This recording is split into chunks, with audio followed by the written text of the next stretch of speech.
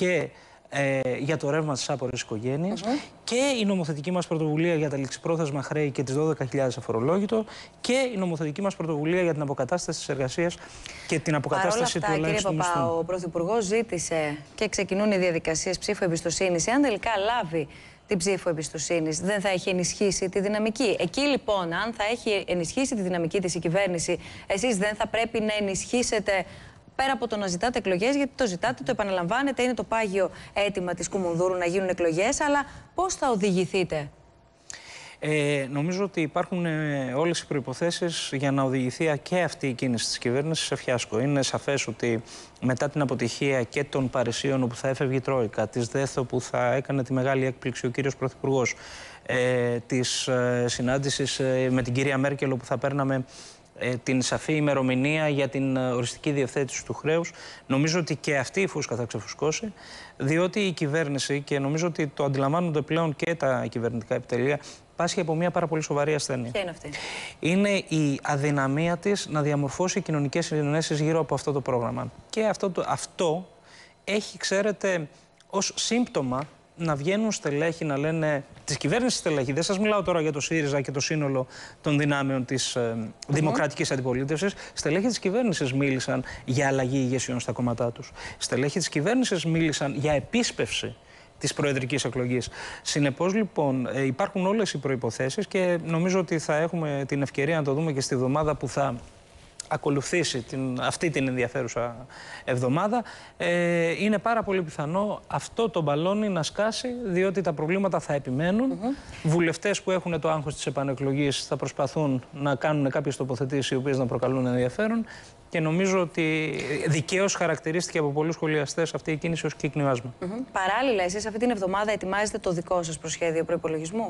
Ε, έχουμε ένα προσχέδιο το οποίο περιμένουμε να το δούμε. Έχουμε σαφείς τοποθετήσεις σε σχέση με το πώς τα κονδύλια και τα ευρωπαϊκά και τα ελληνικά πρέπει να καταναμηθούν. Θα συζητήσουμε, θα δούμε καταρχήν αν οι δεσμεύσεις και οι διαρροές που κουραστήκαμε να διαβάζουμε στις εφημερίδες ισχύουν. Ε, άκουσα πριν ε, το ρεπορτάζ στο Sky πριν αρκετή ώρα το οποίο ε, δεν μας κάνει πολύ αισιόδοξους, αλλά ας μην κάνω σχόλιο τώρα, γιατί ε, είναι προς κατάθεση. Είναι προς κατάθεση. Ε, εμείς θα πάμε σε αυτή τη συζήτηση με το πρόγραμμα της Θεσσαλονίκης, κυρία Μπουσδόκου. Θα δικαιολογήσει η κυβέρνηση την επιμονή της σε αυτές τις επιλογές. Δηλαδή, ο κύριος Σαμαράς θα έρθει έστω την Παρασκευή να εξηγήσει γιατί προ λίγων ημερών από μεγάλης κυκλοφορίας εφημερίδα ελεηνολογούσε το ενδεχόμενο να αυξηθεί ο κατώτατος μισθός στα 7,51. Πράγμα που τους ζητάει και ε, έχει ε, σαφή τέτοια τάση και η Διεθνής Οργάνωση Εργασίας.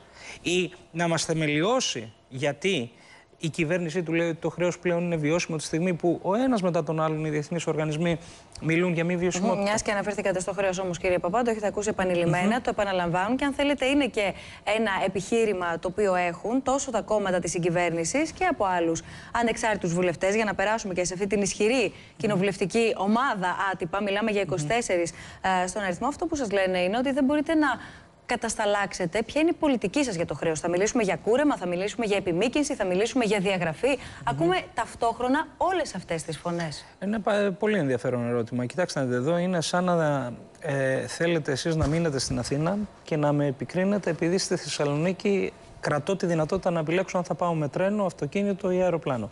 Άρα λοιπόν υπάρχει μία, ένας βασικός διαχωρισμός μεταξύ αυτών που θεωρούν ότι το χρέος είναι βιώσιμο και το μόνο που χρειάζεται είναι ένα πιστοποιητικό βιωσιμότητας και αυτών που θεωρούν ότι το χρέος δεν είναι βιώσιμο και πρέπει με κάποιο τρόπο να γίνει η ρύθμισή του. Ο ΣΥΡΙΖΑ λέει ότι πρέπει να υπάρξει διαγραφή του μεγαλύτερου μέρους του χρέους. Αυτό υπάρχει πολύ. Σε τι μία γκάμα. Υπάρχει θα μία ήταν γκάμα... ικανοποιημένος ο ΣΥΡΙΖΑ που ακριβώς έρχεται και κάθεται κουμπώνει η πολιτική σας; Ε, αυτό είναι μια κουβέντα η οποία νομίζω είναι δευτερεύουσα. Δηλαδή το, το ποσοστό πρέπει να είναι πολύ μεγάλο. Πάλι λένε για 50%, άλλοι έχουν πει για 40%, άλλοι έχουν πει για 60%.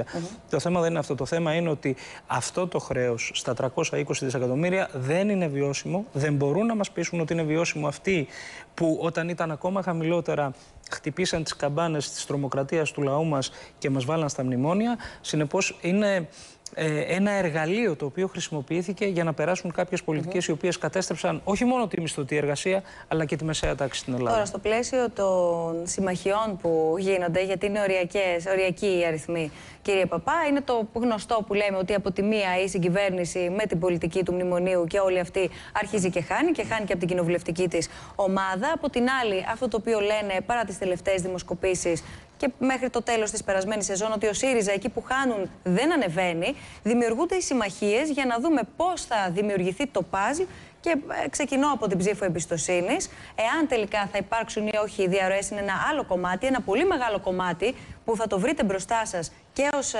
αξιωματική αντιπολίτευση, το βρίσκει αυτή τη στιγμή και η συγκυβέρνηση. Είναι οι ανεξάρτητοι, ξαναλέω, βουλευτές είναι 24. Τους θέλει και η μία πλευρά για να ισχυροποιήσει τη θέση της, τους θέλετε όμως και εσείς για, να, εσείς για να δημιουργήσετε ισχυρές συμμαχίες.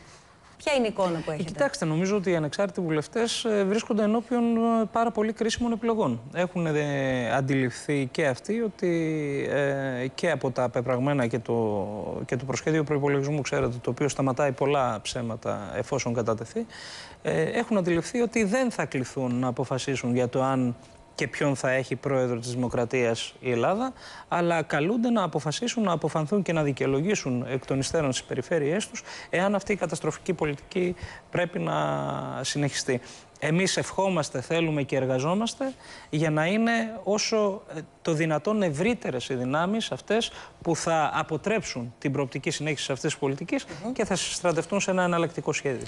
Τι απαντάτε, έστω και εκ των υστέρων, ήταν όμως μια δήλωση, τη συζητούσαν νωρίτερα και με τον Μπάμπη Παπαδημητρίου, α, για το αν έρθει ο ΣΥΡΙΖΑ θα χάσουμε τα λεφτά μας, πρέπει να τα πάρουμε τα λεφτά μας. Επίσημα τι απαντάτε, ποια είναι η εικόνα από τις δικές σας ενδεχομένως συνομιλίες με τραπεζίτες και γενικά για το, για, το, για, για το επίπεδο και για την κατάσταση των ελληνικών τραπεζών στο ευρύτερο τραπεζικό σύστημα. Γιατί αν κατακλείδει, κύριε Παπά, και μετά από όσο έχει γονατίσει ο ελληνικός λαός, λίγο τον ενδιαφέρει ποιανού το όνομα, ποιο κόμμα θα είναι αυτό που θα τον, χάσει, να, θα τον κάνει να χάσει λιγότερα ή περισσότερα, εδώ που δεν υπάρχουν καταθέσεις. Ναι, νομίζω ότι αυτό είναι ένα ζήτημα το οποίο υπερβαίνει τους ε, διαχωρισμούς των κομμάτων και θα πρέπει όλοι να εργαζόμαστε για να είναι σταθερό το τραπεζικό μας σύστημα και οι ε, καταθέσεις των πολιτών μας εγγυημένες. Και νομίζω ότι κάποιες ανεύθυνες δηλώσεις και κάποιες ακόμα πιο ανεύθυνες διαρροές υψηλότατες, οι οποίες υπήρξαν, κλείσανε ε, το εύχομαι ειλικρινά, το ευχόμαστε ειλικρινά, ε, αυτό να είναι και οριστικό σε σχέση με την επερχόμενη εκλογική μάχη. Δηλαδή, να επιλέξει η Νέα Δημοκρατία, ειλικρινώς, να αφήσει ευαίσθητα θέματα που άπτονται της οικονομικής σταθερότητας και της τραπεζικής σταθερότητας έξω από την πολιτική μάχη. Αντιλαμβάνομαι ότι δεν έχουν και πολύ μεγάλη αυτοπεποίθηση να μιλήσουν για το πρόγραμμά τους, αλλά νομίζω ότι είμαστε καταδικασμένοι και εμείς και αυτοί να μιλήσουμε για αυτά τα προγράμματα και να αφήσουμε τόσο ευαίσθητα θέματα mm -hmm. εκτός της αντιπαράθεσης. Κλείνοντας τη συζήτηση που έχουμε και μένοντας πάντα στο οικονομικό επίπεδο, ε, υπάρχει αντίστοιχα η άποψη ότι δεν ενημερωνόμαστε για τις επαφές τελεχών σας, βουλευτών σας που γίνονται στο εξωτερικό. Καταλαβαίνετε πολύ καλά σε τι αναφέρομαι, αλλά δεν ξέρει κανείς αν είναι, υπάρχουν και άλλες συναντήσεις που θα έπρεπε να γνωρίζουμε ως αξιωματική αντιπολίτευση τις επαφές που κάνετε σε ευρωπαϊκό επίπεδο; Άτυπες συναντήσεις γίνονται και θα συνεχίσουν να γίνονται και, και πρέπει να γίνονται. Δεν μπορεί και δεν πρέπει ούτε για μας ούτε για τους εταίρους μας να γνωριστούμε τη στιγμή που θα κάτσουμε στο τραπέζι της διαπραγμάτευσης. Είναι σαφές.